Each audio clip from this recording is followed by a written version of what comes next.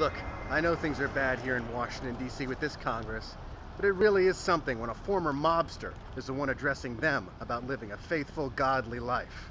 Michael was addressing senators and Capitol Hill staffers at the Dirksen Senate office building, and I decided to come along to see what he does. We're influencing people here. You know, we're putting them in the right direction, I think. They're hearing a story of uh, really how God can change somebody's life and trying to encourage them to do the right thing. Michael spent 20 years in the mafia, was the best earner since Al Capone, but left it all behind 20 years ago for his new life.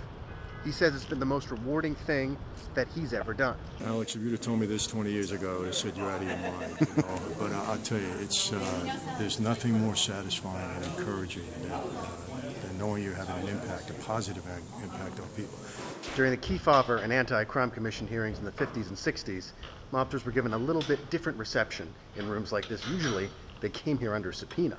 I'm told I'm the only mob guy, former mob guy that ever came into this building that wasn't an informant or testifying against somebody. So uh, to me, that was a, a privilege, really. But to come in here voluntarily, it, I got it right away as soon as I walked in the room. You know, the old thoughts come back. Michael's testimony has moved thousands of people. One of them, who heard it for the first time today, is a former Indiana congressman who said he was amazed by Michael's story. It's important to hear from Michael because um, it, it's a testimony that that. Uh, shows the power of the gospel, that, that there is really no place that we can be, no place that we can go where his, the power of the Holy Spirit and the power of the gospel cannot win us. So here we are, church and state coming together with all due respect. Should Michael Franzese be talking to more members of Congress? Tweet me, let me know what you think.